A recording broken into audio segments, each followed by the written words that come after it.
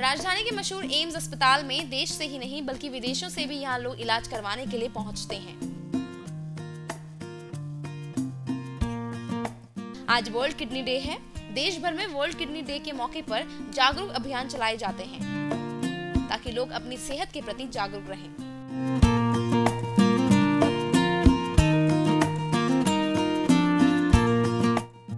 बता दें कि किडनी मानव शरीर का एक महत्वपूर्ण अंग है। किडनी शरीर का खून साफ़ कर पेशाब बनाती है।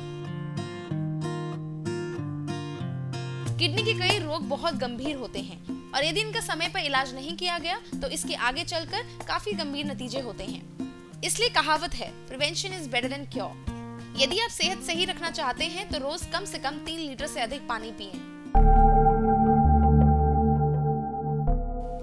40 साल की उम्र के बाद खाने में नमक की मात्रा कम दें।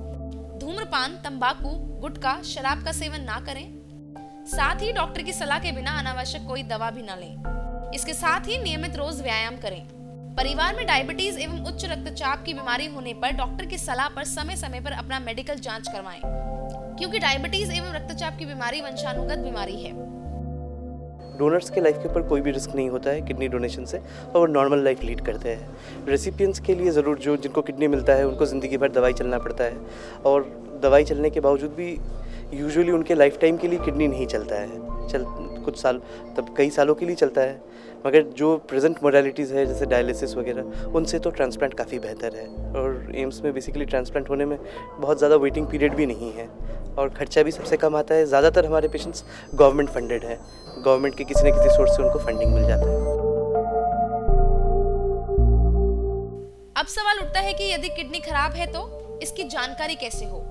आपकी जानकारी के लिए बता दें कि किडनी के कुछ आम लक्षण होते हैं, जैसे सोकर उठने पर सुबह आँखों के ऊपर सूजन आ जाना, चेहरे और पैरों में सूजन पड़ना, भूख कम लगना, उल्टी जी मचलना बार बार पेशाब आना, कम उम्र में रक्तचाप की शिकायत, कमज़ोरी लगना, खून में फीकापन आना, थोड़ा पैदल चलने पर ही सांस फूलना, जल्दी थक जाना, ये कुछ ऐसे लक्षण हैं जिसके देखने के बाद तुरंत डॉक्टर से मिलें, ताकि समय पर रहकर बीमारी का सही इलाज किया जा सके।